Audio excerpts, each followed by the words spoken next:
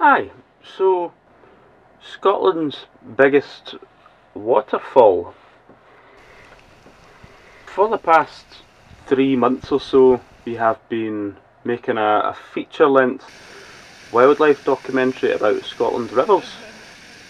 Aye, so we thought we would come up here for a day, walk into the waterfall, film some nice footage, and be on our way. But the weather was shite, to be honest.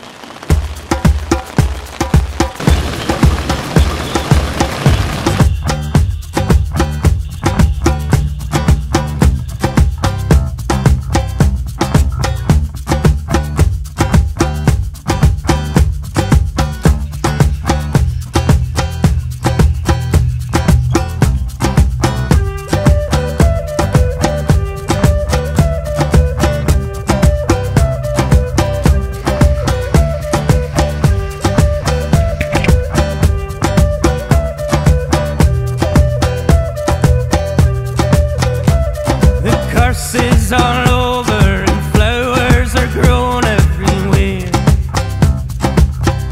Can we roll in your love? Can we roll in your love? The sea is so blue.